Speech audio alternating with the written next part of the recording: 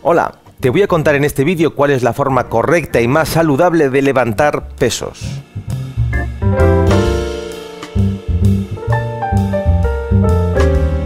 Seguro que has oído más de una vez eh, eh, decir que para levantar pesos del suelo hay que doblar las rodillas. Lo que se suele recomendar es esto. Además, lo hacen así como súper exagerado, así manteniendo la espalda recta. Y, no sé, yo personalmente creo que más que las rodillas hay que llevar la atención a otro lugar. Yo no levanto pesos doblando las rodillas y estoy convencido de que no me hago daño en la espalda. Creo que la clave, más que en las rodillas, está en la zona lumbar, en qué hacemos con la pelvis y la zona lumbar.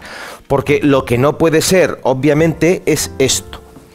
Que yo me doble para coger el peso y tenga esta zona cifosada, tenga la chepa, ¿de acuerdo? Porque ahí me estoy haciendo daño, ¿sí? Sin embargo, si yo doblo una gotita las rodillas, una gotita, no hace falta más, y hago una báscula pélvica hacia adelante, ponme la otra cámara, por favor, eso es, que se vea la báscula pélvica y sostengo ahí con mis lumbares, mantengo el arco lumbar, ahí las vértebras están en una posición en la que puedo levantar cientos de kilos que no se van a hacer daño nunca en esa posición, ¿vale? Yo ahí ahí puedo coger el peso y puedo levantarlo ahí perfectamente sin ningún problema, ¿vale? No me voy a hacer daño nunca porque estoy manteniendo la pinza intervertebral funcionando, ¿de acuerdo? Eh, si yo hago esto, pero mantengo la espalda en cifosis, me voy a hacer daño igualmente. Me voy a hacer daño porque tengo tengo la pinza intervertebral funcionando mal, que es lo que va a determinar que las lumbares sufran o no.